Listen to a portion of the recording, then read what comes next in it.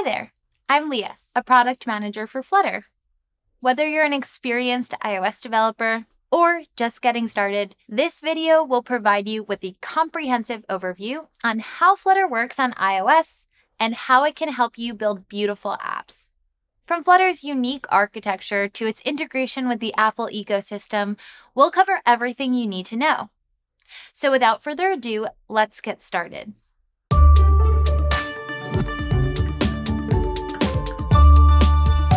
Flutter is a framework for building beautiful, responsive user interfaces that can run on multiple platforms with a single codebase. That means that you can use the same code to create apps for iOS, Android, the web, and even desktop platforms like Mac, Windows, and Linux. But before we get into the details of Flutter, let's review the anatomy of an iOS app built with Apple's frameworks. At the top, you have your UI app code, and this is likely written using the UIKit or Swift UI frameworks in either Objective-C or Swift. Here, you can define the structure and appearance of your app's UI using a set of views. Okay, so now we have our views, but we need another step to actually translate our high-level UI code into the shapes and colors that are displayed on the screen. This is where the rendering pipeline comes into play. Frameworks like Swift UI and UIKit use graphics APIs to render views, most Apple devices use the Metal framework, which provides direct access to the GPU. So the UI framework generates a Metal-based rendering pipeline when it comes time to displaying graphics. This is a great approach for iOS app development. But one downside is if you want to deploy to Android or to web, you'll need to rewrite your app in a new language and framework. And in many cases, you're working within the confines of the iOS design language. With a cross-platform framework, the first bit isn't an issue. You can deploy to multiple platforms from the same codebase. But the problem is a lot of these frameworks act as an abstraction over those native views that we mentioned before.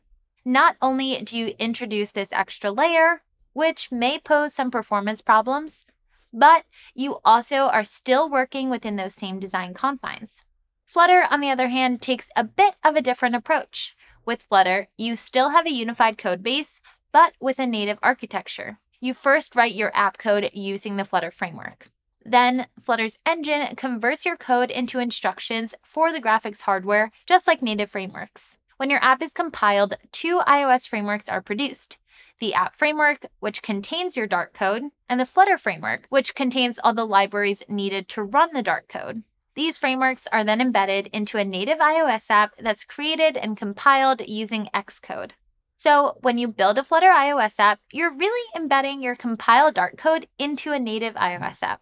This structure provides flexibility, including the ability to easily add Flutter UI components to an existing iOS app, or add native app extensions like home screen widgets that are written with Swift UI. Let's dig a little bit deeper on how all of this works under the hood. When building a Flutter app, you use the Flutter framework to define your UI. Flutter code is written in the Dart programming language. Instead of views, UI components are called widgets. The Flutter framework is declarative, just like Swift UI, so the code often looks pretty similar. Things might be named differently, like an HStack in Swift UI is called a row in Flutter, but Overall, if you're comfortable with Swift UI, Flutter should feel familiar. One notable difference is that Flutter uses aggressive composition where possible. In Swift UI, you might use a modifier to modify your view. But in Flutter, that modification is actually its own widget. Modifications are represented as widgets which contain other widgets. It's like a Russian doll of widgets. To learn more about Flutter's syntax and how it compares to Swift UI, check out our guide linked below.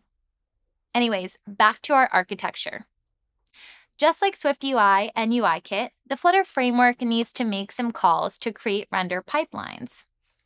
This is where the Flutter engine comes into play. It takes the framework code and translates it into rendering commands that can be understood by the graphics hardware on the device. In the case of iOS, the Flutter engine renders frames using Metal, just like a native iOS app. Okay, so why does this matter? Well, like we mentioned earlier, getting rid of that extra abstraction can help with performance. But what's really cool is that since Flutter talks directly to the iOS graphics API, you control every pixel on the screen. This means you can create custom visuals in your app, like the Wonderous app that I showed before. This flexibility is great, but you may be worried that more flexibility means more work. To make things easier, there are sets of pre configured widgets that match the mobile OS design. Material widgets for Google's design system, and Cupertino widgets for Apple's. My favorite part of these widgets is that everything is open source, meaning you can fork and customize them or propose changes directly to the framework. See that the padding looks a bit off? Go ahead and submit an issue. Or if you've got to fix yourself, submit a pull request with your adjustments. Continuing on with our discussion on Flutter's architecture, so far we've talked about the framework and the engine. But there's something else the platform embedder. This is basically the glue between Flutter and the host operating system, in this case, iOS. When you start a Flutter app, the embedder does a bunch of things, like providing the entry point for the app and initializing the Flutter engine. Let's take a closer look. When you create a new Flutter app, the tool auto-generates folders for platform-specific files. So for iOS, that's the iOS directory. And we can open this generated workspace in Xcode. Over in Xcode, there's a target called runner. Now, a target represents a single product, in this case, an iOS app. Essentially, the Flutter tool auto-generates a native iOS app. And this native app is the root of our Flutter iOS app. Let's take a look at these auto-generated components. So here we'll open up this app delegate file. And if you're familiar with UIKit development, you may have used an app delegate class before. It serves as the entry point for an application. It's responsible for setting up the app's initial state and responding to system level events. Flutter iOS apps use an app delegate that inherits from the Flutter app delegate class which is responsible for initializing the Flutter engine and connecting it to the native iOS platform.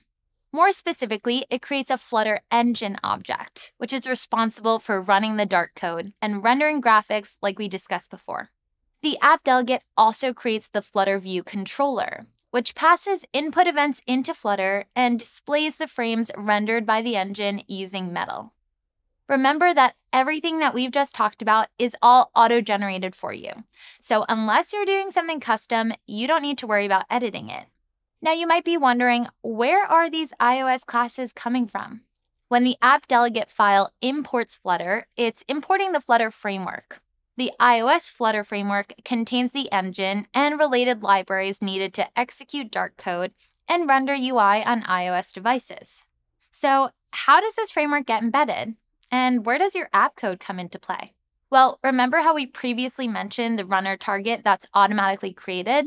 It has a default scheme that can be run from Xcode by pressing the Run button, just like a native iOS app. When you press the Run button, Xcode compiles and creates the app.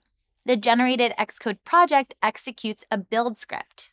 And this script compiles the app's Dart code into a framework called app.framework and then copies the Flutter framework into your build directory. Finally, these frameworks are embedded into your app and code signed. Okay, so we've been walking through a Flutter iOS app's architecture in Xcode. But in reality, you would use Flutter's own tooling to run your app. You can use the Flutter CLI command, Flutter Run, or the Run button in your Flutter IDE if you're using VS Code with the Flutter plugin. Using these tools, you can also take advantage of Hot Reload. Hot Reload is a Flutter feature that lets you make changes to your app's code and see those changes immediately reflected on your test device, the iPhone, iPad, or simulator. It maintains your app state, so say you're testing a screen that requires a few clicks to get there. You don't need to click through to that screen every time you make a change.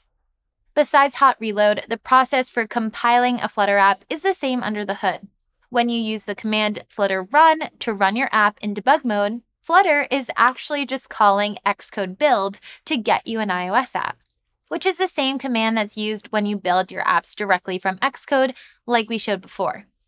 Okay, so we've covered a lot of ground Flutter's framework, engine, and platform embedder. Now let's talk about leveraging Swift or Objective-C APIs in your Flutter app. There are a lot of reasons why you may want to do this. Maybe you want to use Apple's APIs or frameworks in your Flutter app, like connecting to the Photos library or kicking off some on device machine learning workflow. Most commonly used APIs have corresponding Flutter plugins.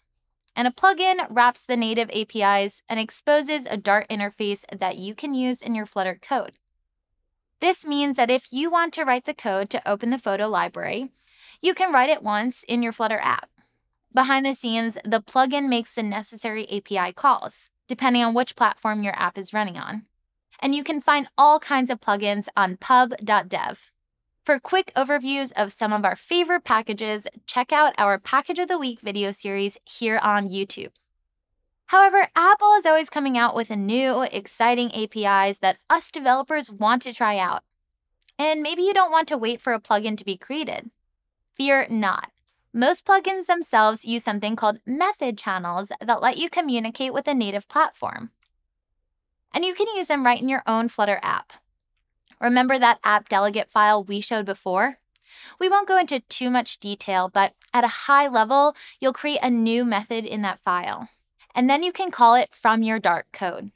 Alternatively, you can leverage Dart's interoperability with platform languages.